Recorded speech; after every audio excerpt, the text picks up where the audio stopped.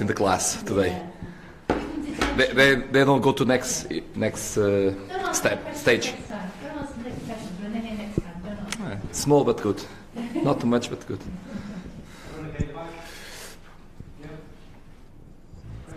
Thanks, Chris. Aye. Carlos, happy St David's Day to you. Thank you. You too. Thank you very much. Uh, and to all the Welsh. Yeah, Good looking good luck, there Welsh with your, country, with your daffodil, very good. Thank you.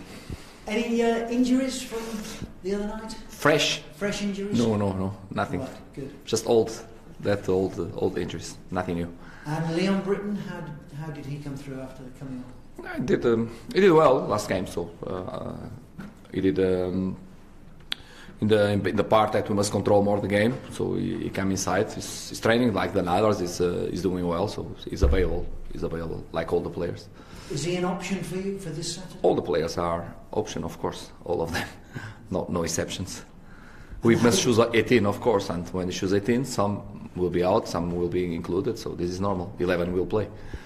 Having not played since October, w- were you impressed with his influence when he came? Yeah, It's, uh, he's not young anymore, of course. So uh, when we don't play a long, long time, uh, sometimes it's difficult. But he's a, a fit player. He's a player that uh, um, is, a, uh, is a fit player. So uh, he was involved after training, maybe two weeks or something. So he was involved, and uh, he did uh, he did well, like all all the players.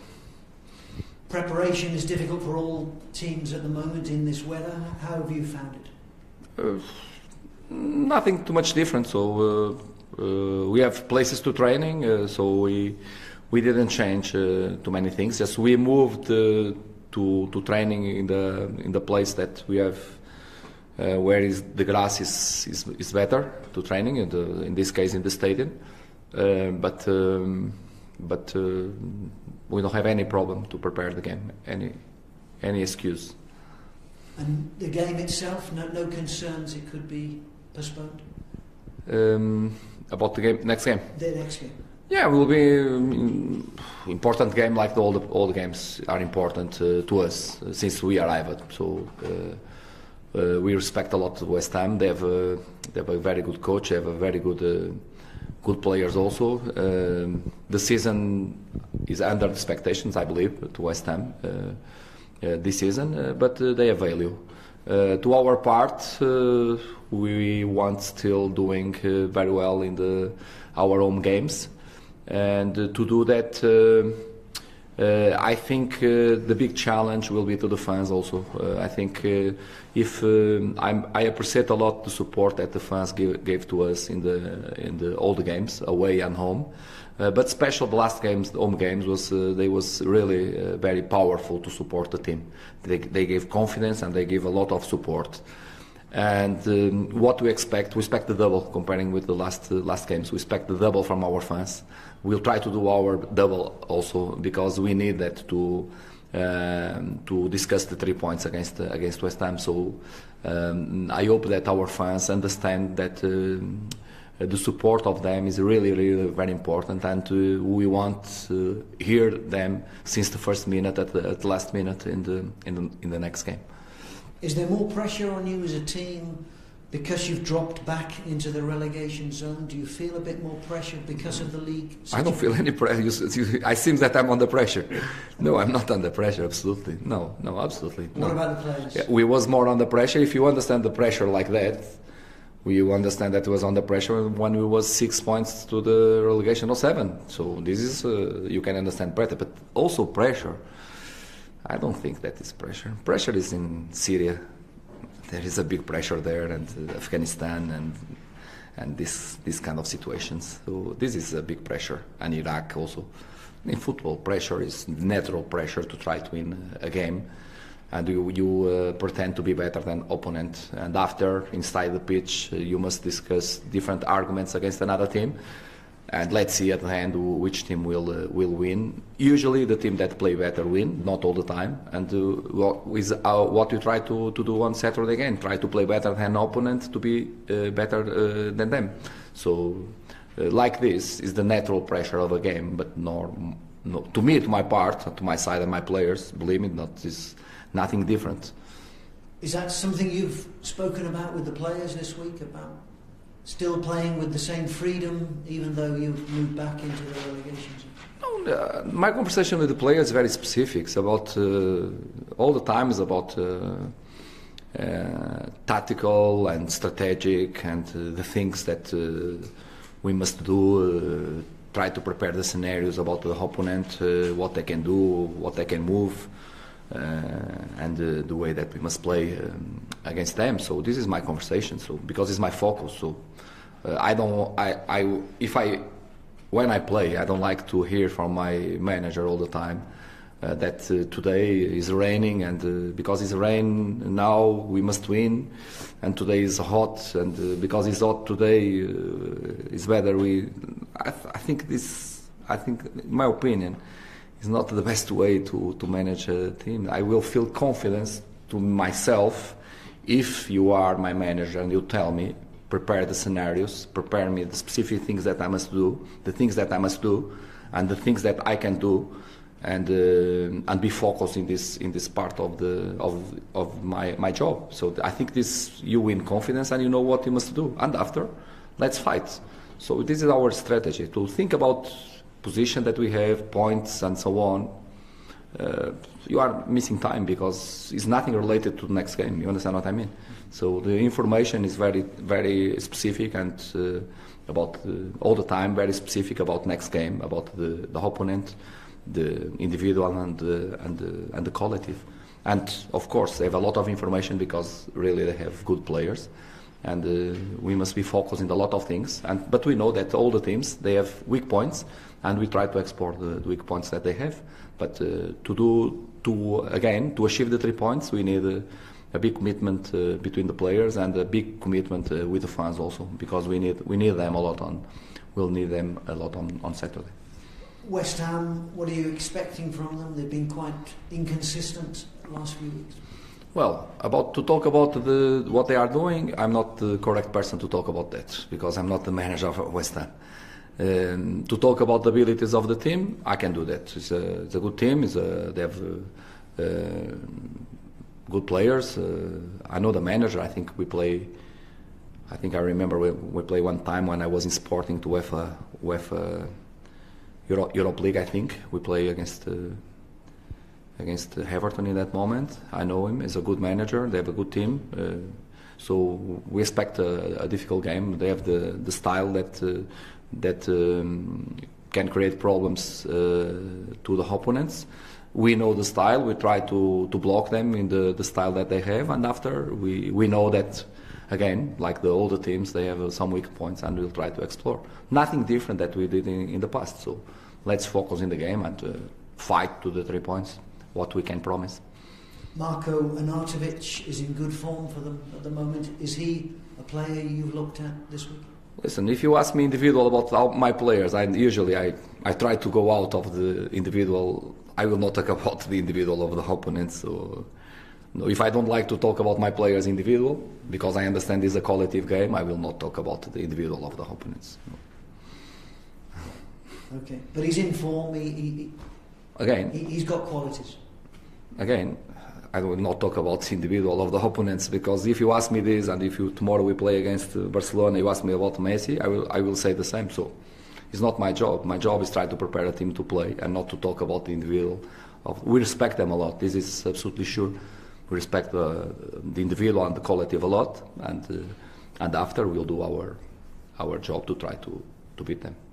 You were quite uh, honest about the reasons you felt you'd lost at Brighton. Um, and chased the game by being quite bold and adventurous when you fell behind.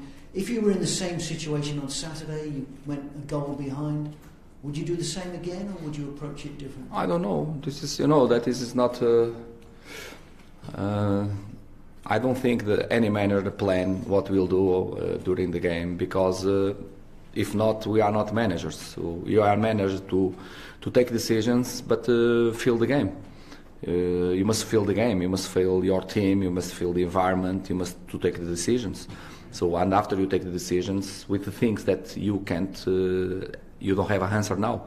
You will have an answer in the moment with the things that are happening, and after you do according with your feeling, with the feeling of your players, with the, the players that you understand is important to move. Sometimes the weakness of another team, and after you may, you move the things.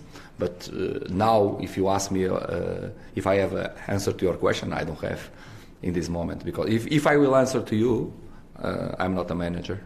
I'm a manager from the PlayStation because I preview everything and I don't preview absolutely nothing. I, we must feel the game and trust in our instinct to, to try to, to move the things. Can I ask you, Carlos, about uh, your next FA Cup opponents, which was, was clear after last night, Spurs uh, winning, winning last night? This dossier is closed. Just, just in terms of the game last night, and it's the first chance I've asked you, now you know who your opponents are. The, the cup game, the dossier is closed now. So I talk about uh, everything about the cup after the game against Sheffield Wednesday. You you was there. I was there. So and I said, close the dossier Okay. and open dossier West Ham. So if it's closed, it's closed. I don't have the key. The key is in my house. Okay, So I can't open, sorry. Forget that game then. Forget okay. that. Okay. Forget, but don't go around because No, you, try to go around. the, the, the, the issue of uh, VAR last night was again something people were talking about. Um, having watched that, the game, watched what happened, and in previous FA Cup games, are you unhappy with the way VAR is working at the moment? It's a question of attitude. Happened the same in Portugal. In the beginning, it, it's everything very strange, and after the people adapted uh, to the things. Uh, I think there are a lot of positives about the decisions. As you understand, if you are a, a decision that in the important game, that the referee, they are very good referees, but in that moment they, they, they didn't saw it something but it's something that's crucial to that moment and can create a big damage in the, in the, in the final result. If you have something that can help, help the referees, not help us, it's help the, the referees to take the better decision. I think um, I think uh, is a. It's, I think I'm, I'm happy to, to see the, the things in the in good way, but uh, I understand sometimes and what can happen that sometimes you score a goal and all the times that score a goal, because the protocol, the referee must hear the the, the referees or the, the analyzer they are they are in, in London, and uh, the fans in this moment maybe they it's a goal and they go and after they look to the referee like oh, and the referee start doing like this. Like this, like this, and the referee, oh, and after is a, a new celebration. It's goal, hey! so it's not goal. Oh, see, this is uh, a little strange to the football. I understand that, and happened yesterday. Happened yesterday, but uh, uh, I think it's a question of it's a situation of uh, uh, it's everything new in this moment. Do you think more needs to be done for the fans in the stadium so they know what's going on? It's a question of attitude. They will understand that uh, all the time. The referees will will have um, so to be clear that the goal is is uh, it is really a goal or it is a really penalty or something. Uh, it's a question of attitude. In the beginning, it's very strange. I saw yesterday everybody say like, "What is this?" I, I'm to- I'm not talking that if it's good, bad, or something. I'm just reporting because, you as you know, the VAR start last season in, in Portugal and start this season official. So I, and I saw some games in, in, in Portuguese competition. In the beginning, it was really very strange also. But if you ask me now if they have a problem about that, it's not uh, a problem anymore. But uh, still, still, uh, men that is analyzing and, and the men do mistakes, even with uh, with cameras, and uh, they can do mistakes also. Do, do the fans in the Portuguese games, do they know what's going on? Are they Yeah. shown on screens? Yeah, they know, they know, they Right. know, they know because they after of, after also the the league uh, or the federation, of the league give some examples about what happened with the real image from the VAR. So they do the kind of education. So what happened is this goal is not valid because this, and they put the, all the images that the referees have, and they said that we are waiting, and put the communications also. So to hear what the referees are talking each other with the, and so on, so they understand uh, exactly what happened. Do you think that should happen here?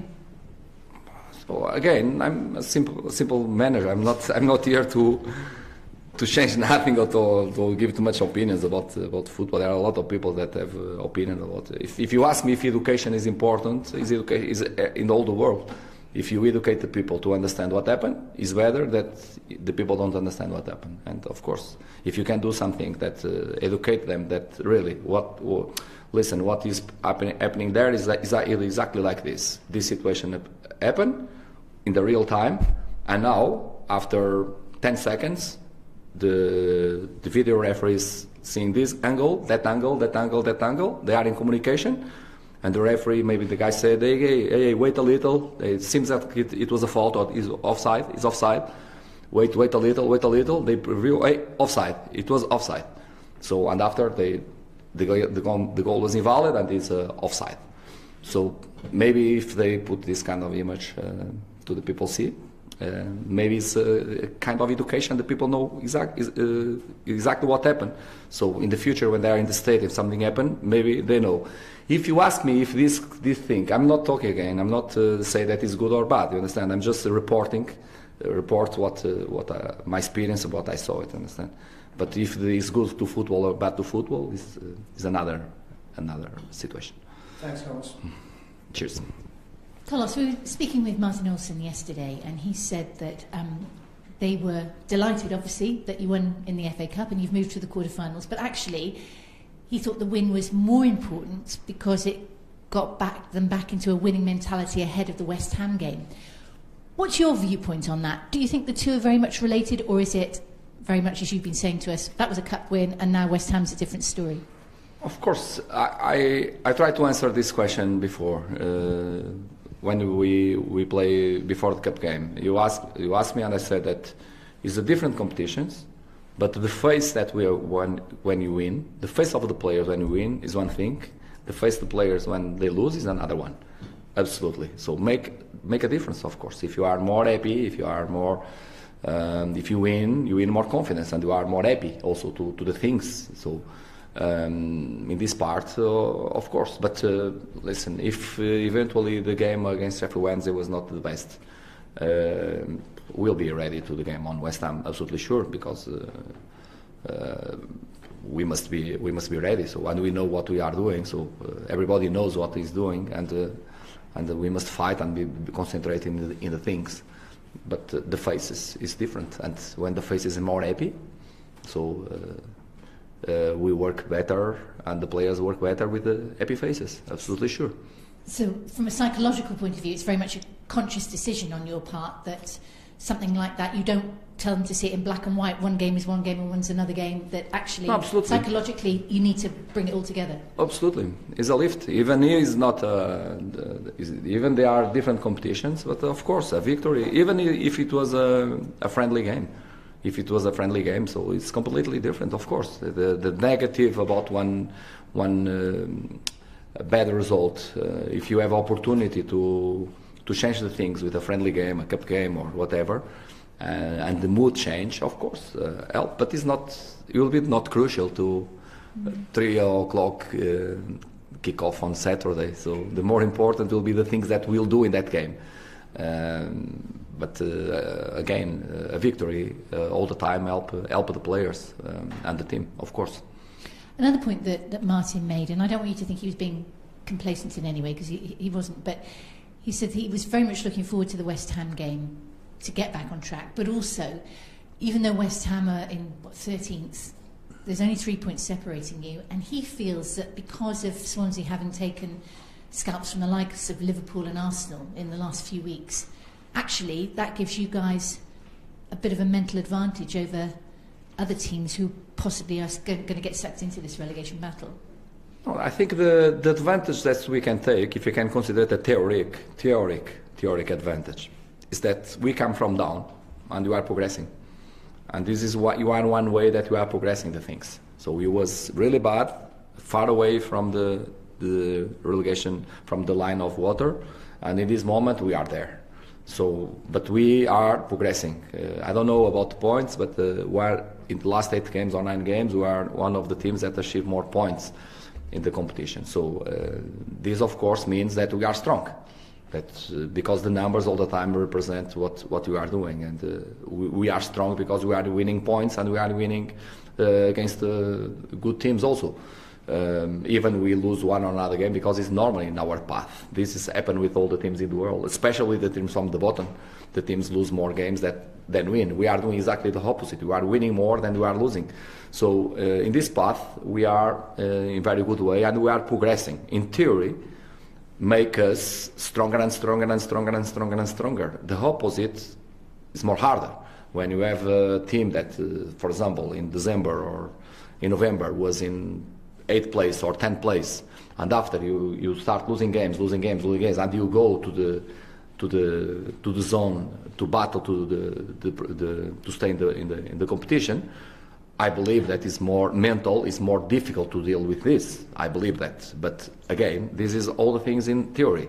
Because on the practice, we must do on the pitch three o'clock kickoff and let's fight to the three points. That's what we must do.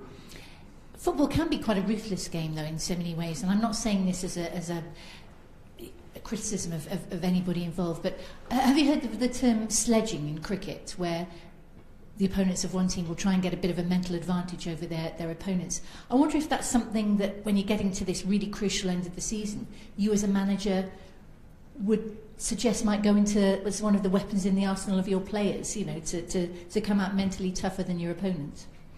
No, we, we try to do all the time. But again, to me, in my point of view, you are better and we are more strong if you know exactly what we must do.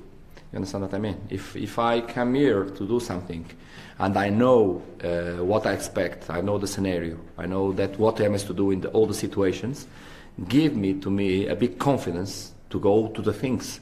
And uh, when we, what is the, the problem sometimes, or can be a problem, can uh, provocate some anxiety? Anxiety. Anxiety. Anxiety. Anxiety. What provocate? When you go to something that you don't know, correct? Sometimes, even a little thing. Sometimes that first time that you go to a dentist, you are nervous. You are with. Sometimes you, you do a little surgery, you don't know what will happen the first, and you stay like, oh, what is this, and so on. But experience is something that you achieve when we live the things. And experience also, and to be safe, you must know and try to, to know exactly what can happen in the game, the scenario that can happen in the game, what I must do uh, in the game. So it's the more the part that we try to put our players strong. This is our part to be to uh, don't bring that kind of ans- an- an- anxiety. Anxiety. That uh, this is a very word to me, very hard word to me that you don't know what what will happen. You understand? So the things can change. The things can change. But if uh, we try to preview the things and the players know exactly what they must do, they feel more confidence. They trust trust more in, the, in themselves. They trust more in the colleagues to to achieve something that is qualitative. So it's the part that we're training more. Instead, give uh, like. Uh, forget the priest. I, I don't want to damage any kind of priest, but like a priest to talk with them, this and this and this and this and this and this. You are the best player of the world, so and so on and this kind of, of the things. So, like one one one time, uh, a Portuguese coach said all the time to a goalkeeper that you never play, that you are the best goalkeeper that I saw here. You are fantastic. You are the best goalkeeper of the of the Europe. You are the best one. I'm a coach, but I never play. Of course, because another one is best of the world. so, so this is a false motivation. this is a false motivation because it's not true. So you, you wouldn't encourage your players to try and exploit mental weaknesses in in their opponents then is that you just want to concentrate on your team not to exploit something in the no exactly what we try to explore is the weakness of the other teams because all the teams have some weak points all of them make the teams one more vulnerable that, than another. So, of course, the West Ham don't have too many weak points, but they have weak points, like we have also weak points. We try to, to cover our weak points. Uh, not weak points, but the, the strong points of the opponent that they can damage to us. But also, we know that there are some weak points that we can explore. So, this is a fight inside the, the game. That if the player know exactly what they must do to cover the strong points and try to explore the, the weakness, they feel more confident. But after, again, so after the point, if you are winning, drawing, uh, and so on, so this after is the game. Is there any line that you wouldn't let them cross? Do you understand what I'm saying? No. Is there any, no? Is there any point where you'd say that's not good sportsmanship? I don't want you to do that. Is Yeah. there is there is there a line that you draw that you say right that is what it is to be a good sportsman and I don't want you to to cross that line even if it means you gain an advantage? Do you have any sort of No, no, no. I, I don't use too much. I don't use uh, mind uh, mind shows, uh, mind uh, mind uh, games. Games. Mind games. Now, if the opponent talk about uh, me or my, my team and so on, and if he talk very bad or or something, uh, he will talk alone all the time. He'll, he'll talk a, a, to, to himself because I will. I never gave an answer uh, to uh, my colleague. Just just if uh, someone try to damage me or my players. This is completely different. But uh, in the tactical things or technical or something, so I never. This is not my way. I go with my path, uh, uh, with a big self-confidence himself, self-confidence with the team, and try to do the things. Is our way, and not we don't go inside the mind games. Never, no, never. Well, I sincerely hope your way works at the weekend. I'm sure Thank it you. will. Thank you, Carlos. Cheers. Thank you. It's okay. Thank you. Yeah. Cheers. Thank you.